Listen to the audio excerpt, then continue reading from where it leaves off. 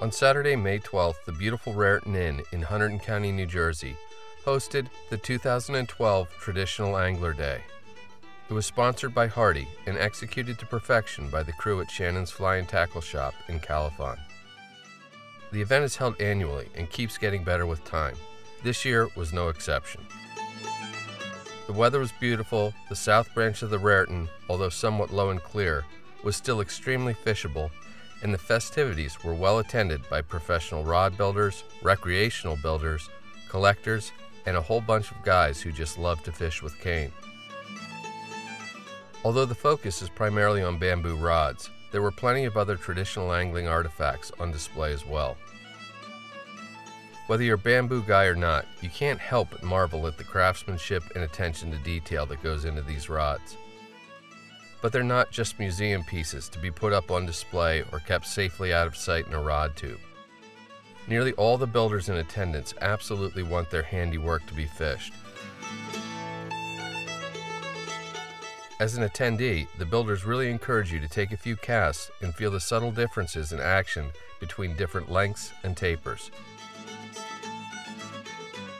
The knowledge base here was simply incredible. I can't even fathom how many years of collective angling and building experience were represented at this event. And with that said, all of them seem to be remarkably willing to share that information, be it with other builders or people simply wanting to learn.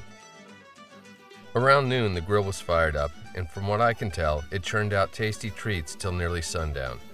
I can't imagine anybody walked away hungry or with their thirst unquenched.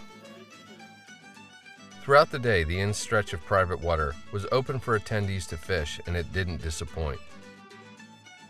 Shannon's Fly and Tackle stocks it a few times a year, and most everyone who fished got a look at one or two of the beasts that have been in the river for a while. It's a really attractive and diverse piece of water, and in addition to the stockfish, there's an impressive population of wild fish that eagerly take a fly.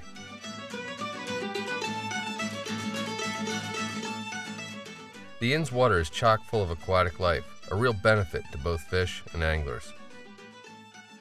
If you were at the event or attended it in the past, you already know what a special day it is.